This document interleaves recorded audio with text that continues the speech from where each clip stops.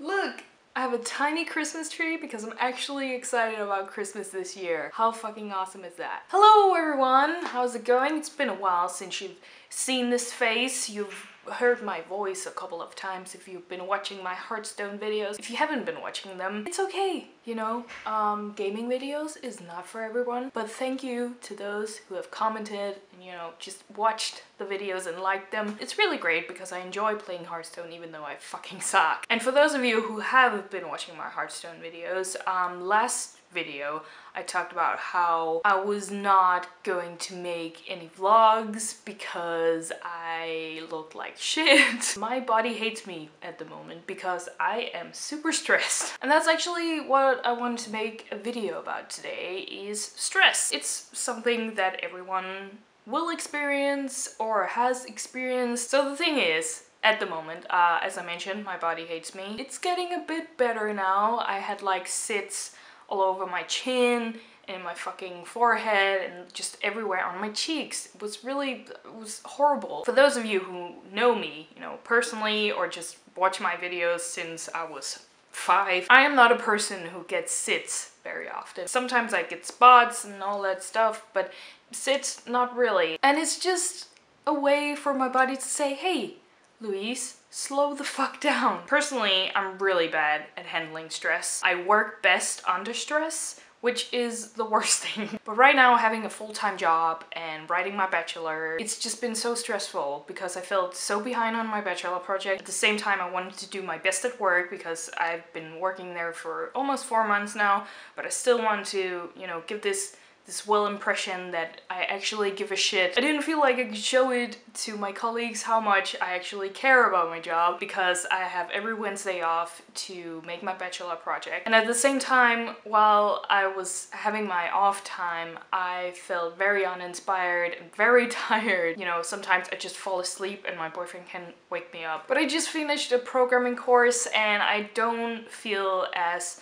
behind as before. Slow down, just chill, you're you're good to go, Louise. It's it's okay. You get a thumbs up, big big thumbs up from here. For my bachelor project, I am doing a product uh, with gamification elements. I want to write about what motivates people and how gamification can motivate people um, to do kind of boring stuff. But my parents, they know me very well and I saw them here a couple of weeks ago when I was at a Hearthstone tournament that my brother's girlfriend had arranged and then my mom messaged me like, hey, why don't you come home a weekend and just relax. So I'm going home this weekend and I'm really excited. I'm going to see my grandma and my parents of course and I'm just going to relax and bake Christmas cookies with my mom and at the same time I can focus on actually writing some more stuff on my bachelor project. I slowly started today, but there's only a month left. I can already feel the pimples. no, but it's gonna be fine. The worst thing is, as I said, I work best under stress and I think a lot of people actually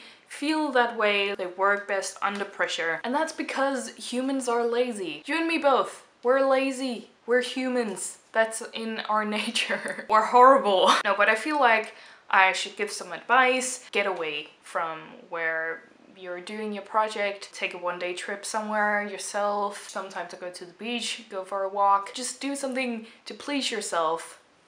Masturbate. And it's nice just to get out of your little stress bubble sometimes. You know, you're allowed to watch an episode of that series you just started. You're allowed to play uh, game of Hearthstone. You are allowed to do this and this and this. You have to reward yourself for actually doing something, but that also means that you actually have to do something. Another great way to handle stress, I feel, is like making goals of your day. At my job, we have daily stand-ups which doesn't mean we do like, so why did a chicken cross the road? it means in my team, um, we tell each other what we did yesterday and what we're going to do today. And it's really motivating for me. So yeah, I just thought I'd just talk about this subject. I know it's not the most sexy subject. I hope this can somehow help you if you watched through the whole video. I don't know, but congratulations if you did. You get a badge. That's gamification for you. Thank you guys so much for watching this video. If you liked it